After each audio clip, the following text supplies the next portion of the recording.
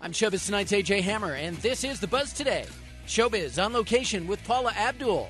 Showbiz Tonight was right there at Dancing with the Stars with Paula last night, where she joined the panel as a guest judge. A very special guest who knows a lot about dancing and judging big TV competition shows, Paula Abdul. Former American Idol judge revealed to us she wouldn't rule out being back on Dancing with the Stars. I would definitely consider coming back. It's just it's a beautiful show and I've always been a fan.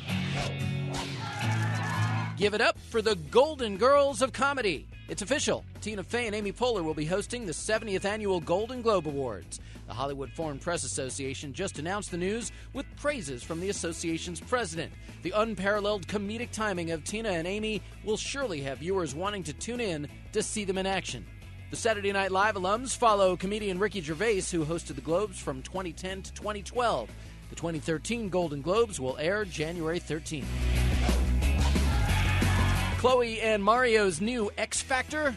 Khloé Kardashian and Mario Lopez are the brand new co hosts of The X Factor.